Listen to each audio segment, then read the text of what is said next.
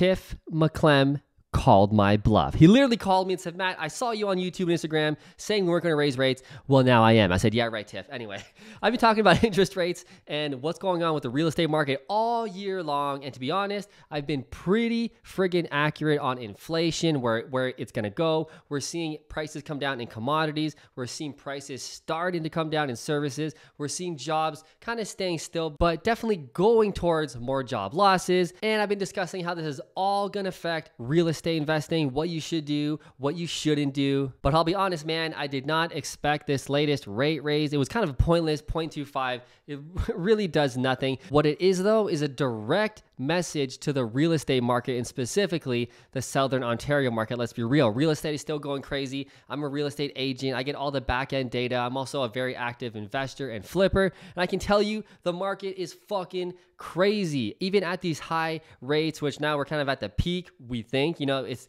it's most likely they're, going to lower these rates. And I know Tiff McClem and the Bank of Canada, they're all saying, no, I'm going to stay tough and the blah, blah, blah. Although I was wrong on this latest one, the overall message is the Bank of Canada is literally running out of steam. Their hand is pretty much almost played. They can talk tough all they want, but they literally can't raise rates too much more, if any more, because of the amount of debt that they have. And they have to service that debt in the interest every single month. And these high rates don't help them either. Now, with the real estate market being so friggin' crazy hot, for example, I just sold one of our flips a couple of weeks ago. It was a totally pimped out fruitful style flip. And obviously, the fruitful style flips go crazy, man. The people go crazy for them. But anyway, when I bought this flip, I thought, you know what? If I sell this property at a $550,000 after repair value, that's what I had in mind when I bought this property property, I, I, don't know what it was, four or five months ago. I thought, cool, that would be amazing. Anyway, we recently sold it for 590000 all cash, firm, quick close. I listed it, and in three days, we had 72 showings. It was like ballistic, even almost crazier than like COVID times. But like I said, man,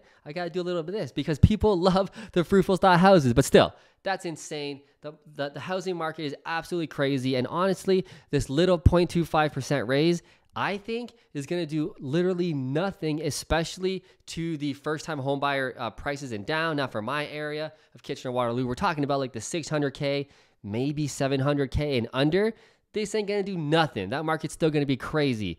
800, 900, a million and over might start to tighten a little bit. But I'll be honest, I'm seeing houses sell around my area here for over a million dollars, and these houses suck ass. So, all that being said, real estate market is absolutely crazy. But my social media manager sent me this video, so I'm gonna watch it and react to it because we all love a good Pierre roasting Trudeau video. I heard this was a good one. I know all the gist of it, but I'm gonna watch this for the first time with you guys. Make some comments about what I what he's saying, maybe what's going on in the housing market, what I expect. Let's get into it. So Justin, super serious.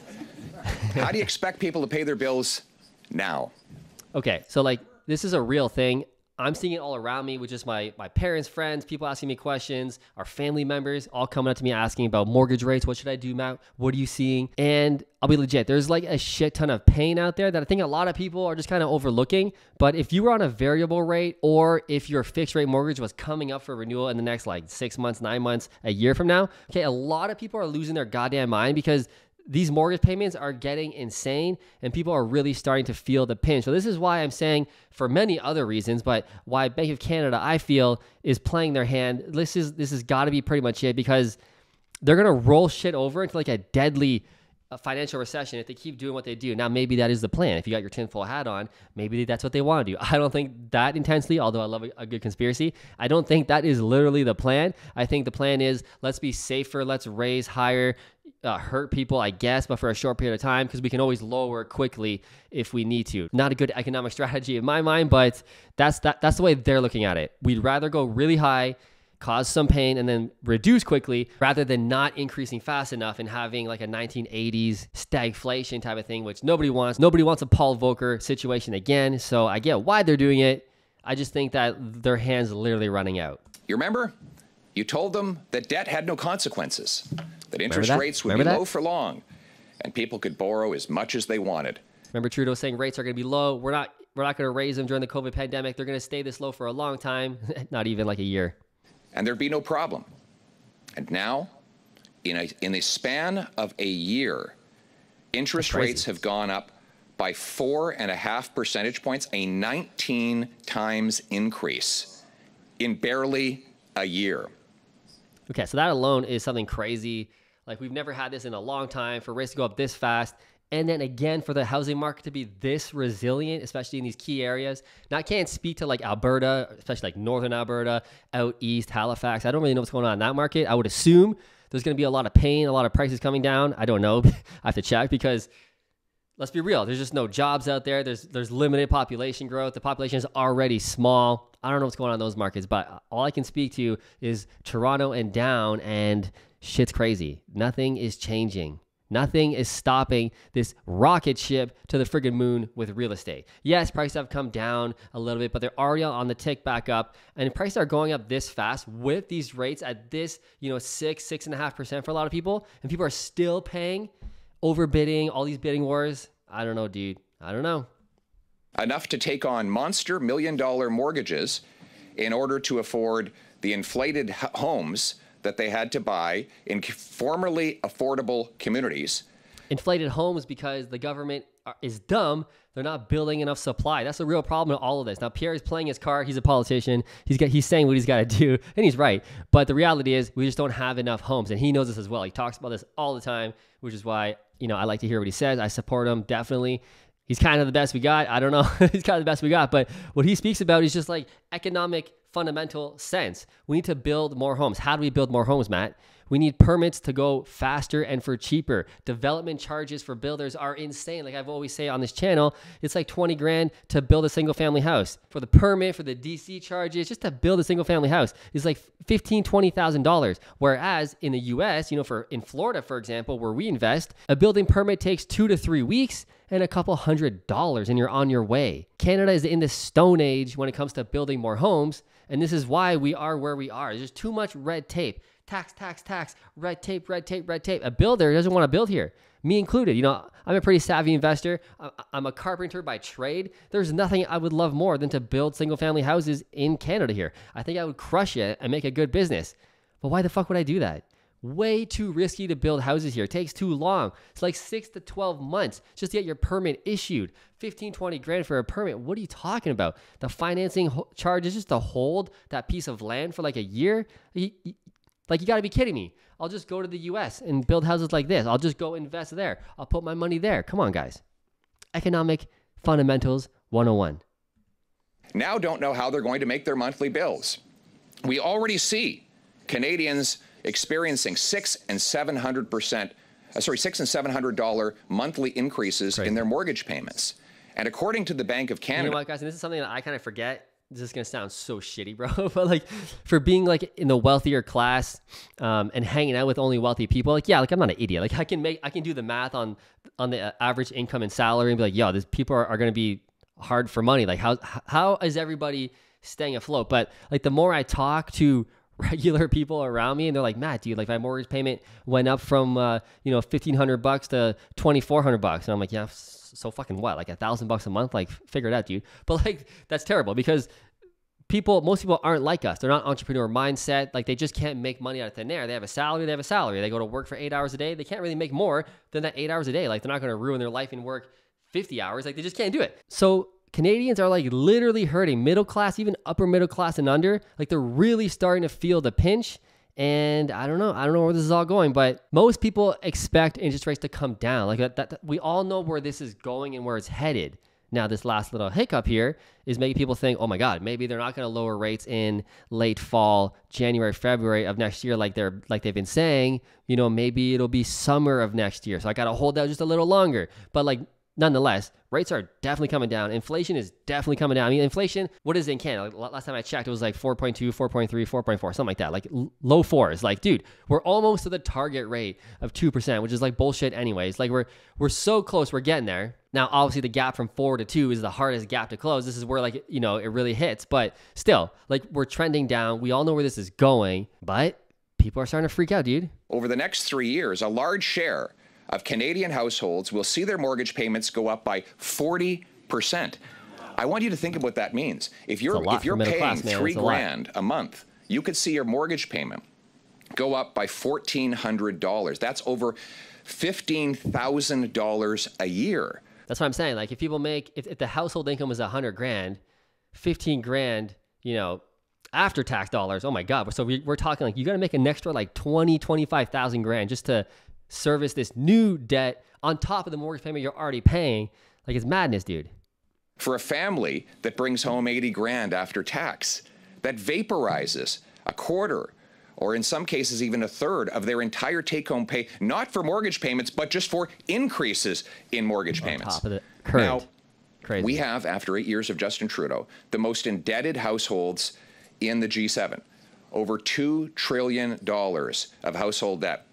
In Oh, other yeah, words, facts, man. household debt Data. is equal to the size of the entire Canadian economy today. Madness. Think of what this means. This is why we're investing in. Florida, dude. Every We're outta here. one percentage point increase in interest rates equals 1% of our GDP.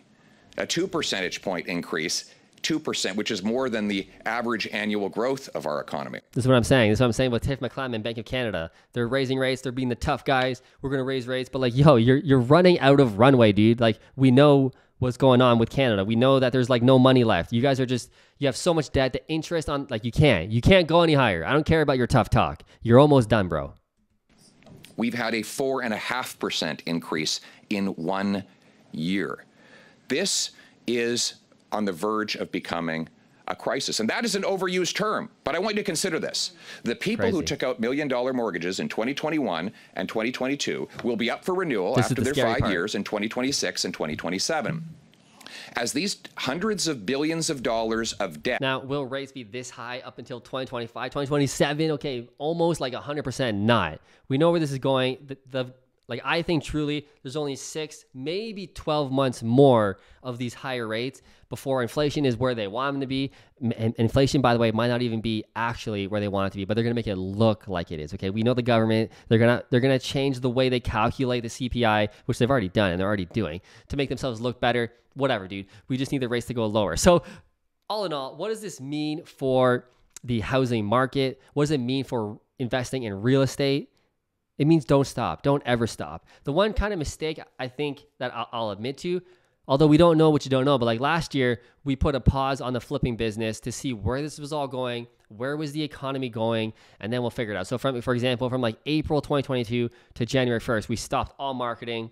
Now, I think in hindsight, like it was it was the right move. If I had you know, future wizard skills and could see what was coming, obviously I would never have stopped because the real estate market did take a pause from April to like September and then right back up she went again and now it's just going insane. So I wish we wouldn't have stopped. But all in all, don't ever stop investing in real estate. The more properties you can buy at a great deal in a great area, it's what I always talk about the fundamentals of investing. You just buy it in a good area, rent it out, renovate it better than everybody else, get a quality tenant, and just friggin' wait. You can't ever time the market. It's all about time in the market. The longer you hold real estate, the more boring your strategy is, you're gonna be just fine. Now I can pivot and do these things a little more because I've already built up, you know, a pretty decent size amount of wealth. I've had 50 rental properties all in Kitchener Waterloo. I sold them all off because we're not buying any more long-term real estate in Canada. Now we're buying in Florida and Texas. We're still flipping in Canada because flipping is in and out. It's quick. I can pivot. I can do what I got to do. I can move. I can not move. So that's the advantage I have just being a more savvy investor. I have a team. I can react quick. I can dump a lot of money into a strategy and pivot quick. But if you're just a boring long-term investor like I have been for the past 13 years before I started doing what I'm doing now,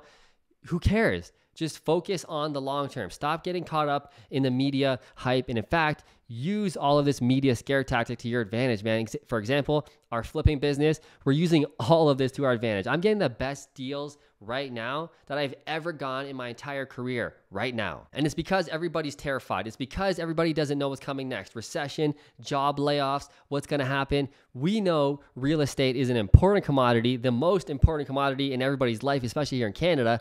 Everybody wants to be a homeowner. The biggest generation, the millennials, are all coming up at one time and they all want to buy houses, okay? Less and less people want to rent in the millennial generation specifically. These people want to buy. And we're all getting 29, 30, 31, 32, 33, 34. We're having kids, okay? When you start having kids, you're going to want a house and you're going to want to own that house with a backyard, white picket fence, all millennial values we still hold on to. We're not Gen Zs. We still believe in that kind of old school family structure thing. And we're seeing that play out. So, all in all, what am I thinking with the market? Am I worried? Absolutely not. If you just focus on buying in good areas, good quality real estate, hold it, renovate it really well, put a quality tenant in there, you're going to be just fine. However, use all of this madness, use all of this confusion to your advantage. Because one thing I do know for sure with my wizard hat is if you don't buy real estate now, I know for a fact by 2030, you're gonna go, fuck, I wish I would have bought in 2023.